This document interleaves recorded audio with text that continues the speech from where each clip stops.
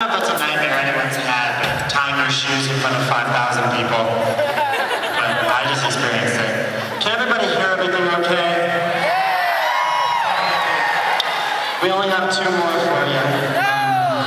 But we're playing at, um, our show at Shea Stadium sold out. But uh, we're playing at, uh, at uh, Baby's Alright um, in October.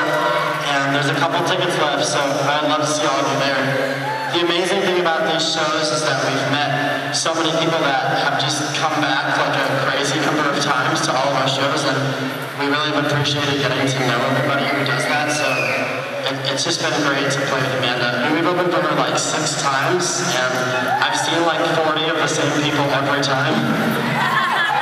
Can I get some vocals on my phone monitor, please? Check. Yeah. Um, but yeah, um, I'm glad I could finally not wear makeup on stage for one show.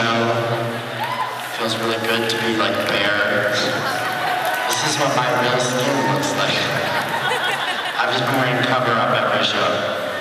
Um, we're gonna play two new songs for you guys. We're recording another record in like a week, so. This song's called LOL, because sometimes you just gotta laugh at that shit. One, two, three. I